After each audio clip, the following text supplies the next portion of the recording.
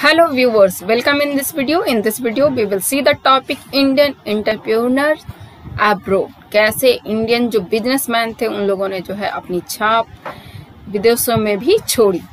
तो let see this आप यहाँ देखेंगे कि जो फ़ूड ग्रोइंग का बिज़नेस था, या जो दूसरी क्रॉप्स था, वो वर्ल्ड मार्केट में, इन सभी कामों के लिए जो है कैपिटल चाहिए होता है। कोई भी काम बिना पैसे के नहीं हो सकता।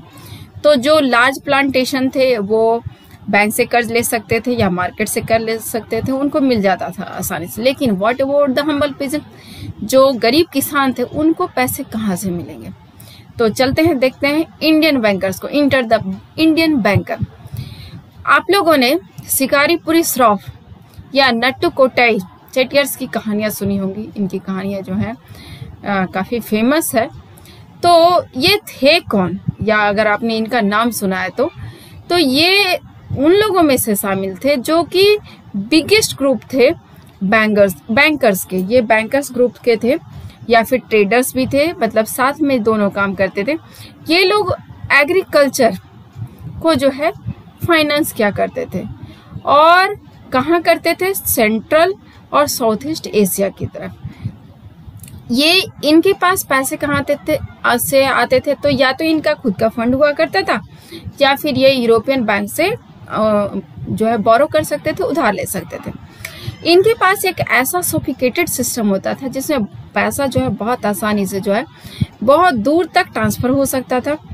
और इवन कि इन्होंने खुद का जो है इंडिजेनियस फॉर्म जो है डेवलप कर लिया था कॉरपोरेट ऑर्गेनाइजेशन का। मतलब इनका खुद का जो है फुल सिस्टम था, जिसमें वो पैसे बहुत आसानी से दे भी देते थे और पैसे लेते, ले वापस भी ले सकते थे। इंडियन ट्रेडर्स और मनी लेंडर्स जो थे, ये लोग यूरोपियन कोलोनाइजर को फॉलो करते हुए अफ्रीका पहुँच गए। ये लोग भी अफ्रीका पहुँच गए, जिसमें कुछ नाम दिया जा सकता है, जैसे हैदराबादी सिंधी ट्रेडर ये लोग जो है पहुँच गए यूरोपियन कॉलोनीज और 1860s में इन्होंने वहाँ पे इम्पोरिया स्टैब्लिश कर कर लिया था फ्लोरिसिंग इम्पोरिया मतलब आप इसको जो है शोरूम समझ सकते हैं जहाँ पर, और ये इम्पोरियाज कहाँ थे? जो बीजी पोर्ट्स हुआ करते थे वर्ल्ड में, उसके आसपास इन लोगों ने इम्पोरिया स्टैब्लिश किया था, जहाँ पे वहाँ के लोकल जो चीज़ें होती थी, उसको बेचने का काम करते थे। और ये लोकल चीज़ें कौन खरीदता था? तो ये लोकल चीज़ें वो लोग खरीदते थे जो घूमने आते थे। एक्चुअली हुआ ये था कि इस वक्त आते आते जो है, अब जो अब जो ये था, एक जगह से दूसरी जगह आना जाना जो था, वो आसान हो गया था। तो और ये आसान क्यों हुआ था? ये आसान हो गया था क्योंकि अब जो शिप्स वगैरह बन गए थे, वो काफ़ी सेफ़ थे कंफर्टेबल थे, जिसकी वजह से पूरी दुनिया में जो है टूरिस्ट अब एक जगह से दूसरी जगह आने जाने लगा। और यही टूरिस्ट जो है, जो इम्पोरियाज होते थे, वहाँ से लोकल चीज़ें खरीदा करते थे। इस तरह से जो है वर्ल्ड लेवल पे आप देख रहे हैं कैसे ग्लोबलाइजेशन जो है धीरे धीरे सेप ले रहा है।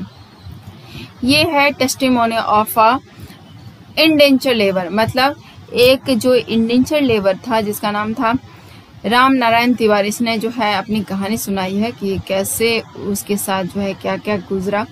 तो ये बोलते हैं बोलता है कि जो आ, काम मुझे दिया गया उसके लिए मैंने बहुत कोशिश की लेकिन फिर भी मैं उस काम को सीख नहीं पाया।